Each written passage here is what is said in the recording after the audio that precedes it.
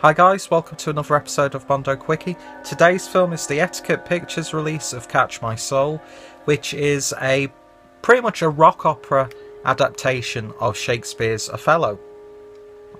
Now, if you're familiar with the story, um, I'm not too sure how much of a loyal um, adaptation this is, but from the basic gist of that story, it does come across in the actual film and this was what was initially thought of a long lost film, but Etiquette Pictures and Vinegar Syndrome found elements and they re released it in this absolutely gorgeous edition, which comes in both Blu ray and DVD. It's a Blu ray DVD combo pack, and as you can see, there's a nice bundle of special features.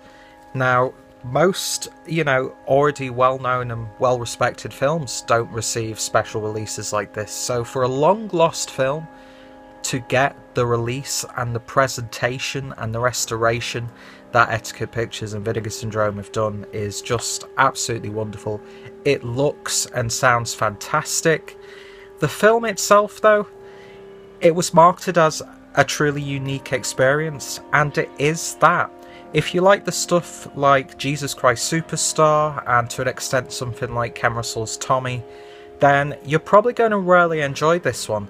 For me personally, as enjoyable as it was and as intriguing as it was, for me it's one of those films that you would watch every once in a while. You probably couldn't watch this repeatedly just because, I don't know, it's got that vibe about it.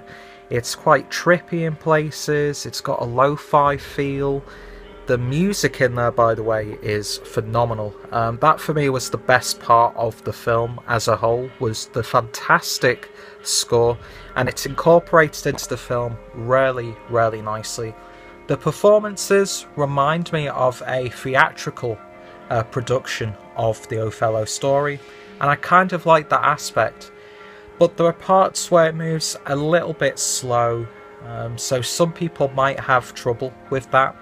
But for me personally, I found it quite enjoyable. But like I said, there's just something about it where I've seen it and I don't need to watch it again anytime soon, but I would revisit it at some point. Now, like I said, the DVD and Blu-ray are packed with special features. You get a really nice booklet inside of there. Um, you get an interview, you get a making of, you get trailers, TV spots, galleries, reversible artwork on the release itself. It's just an absolutely wonderful, wonderful package for fans of unique, psychotronic, and long lost cinema.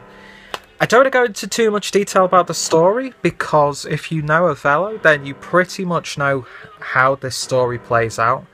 But there's great performances throughout with that theatrical sort of element to it, as if you're watching a stage play adaptation, which actually translates well to this sort of film, especially when it's, you know, a film based on the writings of William Shakespeare.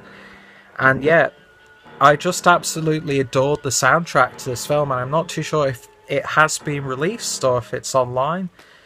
But um, yeah, if you like sort of like early Fleetwood Mac, kind of early Jethro Tull without the flute, that sort of thing. You're going to really dig the soundtrack. The atmosphere is fantastic in this film, it's nicely shot, and Vinegar Syndrome slash Etiquette Pictures restoration just makes this film look absolutely gorgeous. There's great landscapes, great use of scenery, the outfits are fantastic, the set design's fantastic, the costumes are awesome as well.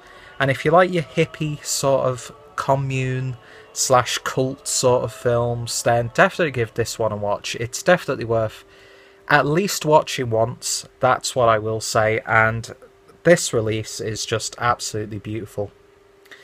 So, if you've seen this film, let me know your thoughts and opinions. What's your favourite film released by Etiquette Pictures? Um, what did you get out of this film in general? And if you've got any suggestions for films that I can look at in a really brief and quick way like this one, then feel free to let me know in the comments. Check out the Mondo Quickie playlist, subscribe for more film reviews, and until the next time, have a good one.